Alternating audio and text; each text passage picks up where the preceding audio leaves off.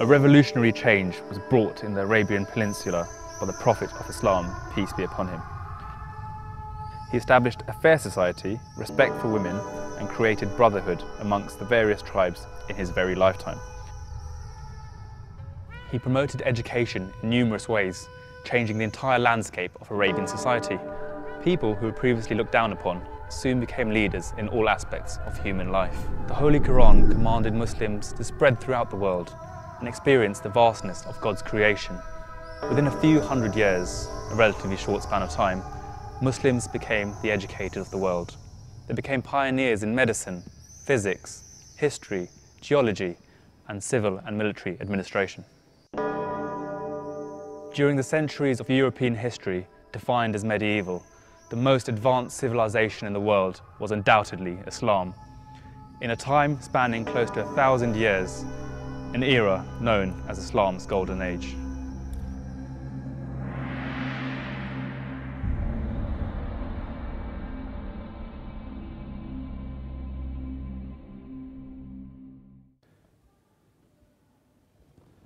The holy founder of Islam, peace be upon him, placed great emphasis on learning. His specific instruction was to seek knowledge from the cradle to the grave. It is the quest for knowledge which opens the doors of progress, where Muslim minds seek not only to prove their own genius, but to implement it for the service of their Creator.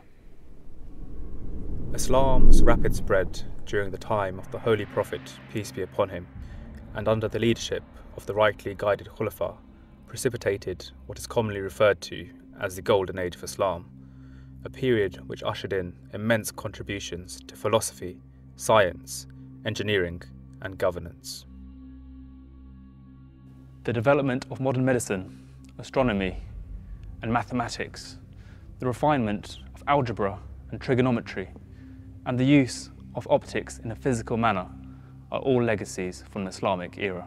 Muslim scientists brought both knowledge and application into inventions which are still pertinent to modern life today. Small tools ranging from scissors all the way up to complex water-powered pumping machines and standardized weighing scales were all invented by Muslim scientists. Indeed, their legacy lives on, but it's not just through the machines themselves, but also the words, many of which are derived from Arabic origin. Words include algebra, algorithm, alchemy, and camera are all derived from root Arabic origin.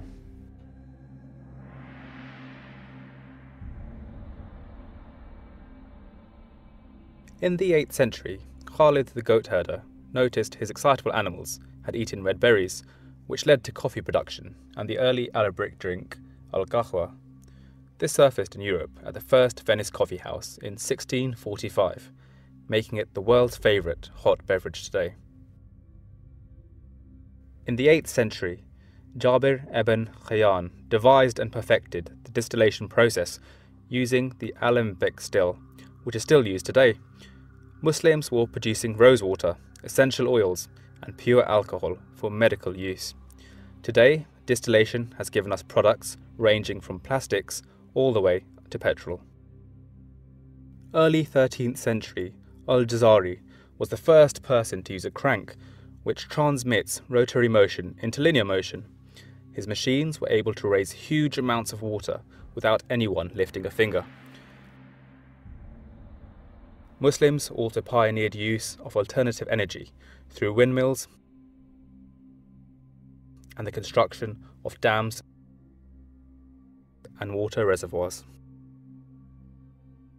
The invincible designs of 12th century castles of Syria and Jerusalem were imitated in Western lands, with key features like round towers, arrow slits, barbicans, and battlements.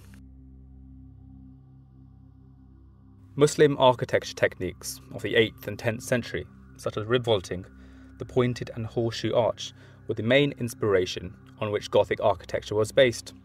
These techniques enabled European architects to overcome problems in Romanesque vaulting and are prevalent in surviving Gothic architecture all across Europe today. More than a thousand years ago, in a darkened room known as qamara in Arabic, Ibn al Haytham observed light coming through a small hole in the window shutters, producing an upside down image on the opposite wall. This early pinhole camera has led to the camera we know today.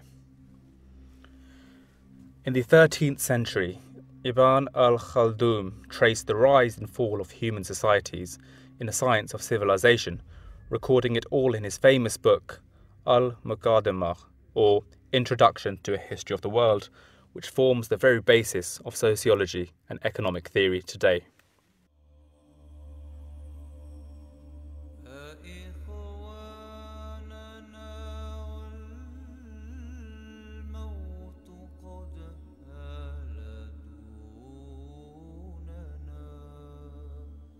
The Holy Prophet Muhammad, peace be upon him, said, He who issues forth in search of knowledge is busy in the cause of Allah till he returns from his quest.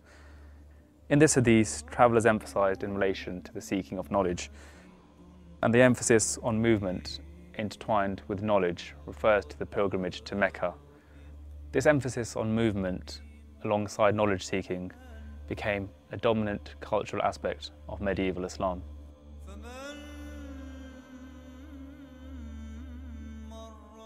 Perhaps one of the most famous explorers of all time, Ibn Battuta travelled over 75,000 miles in 29 years' time through over 40 modern countries, compiling one of the best eyewitness accounts of the customs and practices of the medieval world.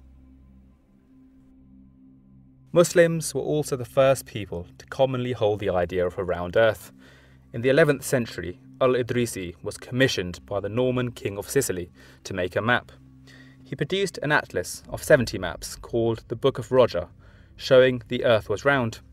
Al Idrisi also made a globe out of silver to further stress the point. Maths, known as the language of nature, has been an integral part of Islamic science, as well as developing existing Greek concepts like trigonometry and giving us the numerals we use today. In the 8th century, Al Khwarizmi introduced the beginnings of algebra, and it was developed into a form we still use today by many Muslims who followed him. Second World War problem solvers were carrying on the code breaking tradition first written about by polymath Al Kindi from Baghdad when he described frequency analysis and laid the foundation of cryptology. Cutting edge surgeon Al Zahrawi introduced over 200 surgical tools that revolutionized medical science more than 1,000 years ago. These tools look identical to modern day 21st century tools used in various types of surgery.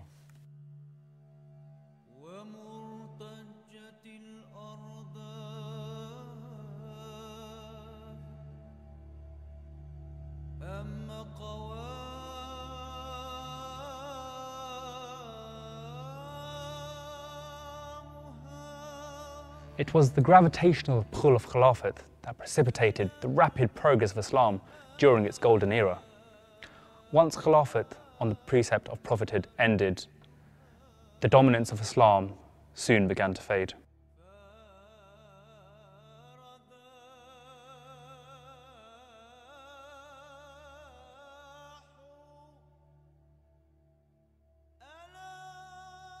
Today, the renaissance of Islam continues in the form of Khilafat and Ahmadiyyat, instituted after the demise of the promised Messiah salam. As with the holy founder of the community, the Khulafa over the past 100 years have written numerous books embodying a massive amount of religious information. Under the divinely inspired leadership of Khilafat, therefore, the gravitational pull of unity is restored and the golden era of Islam is once more within sight.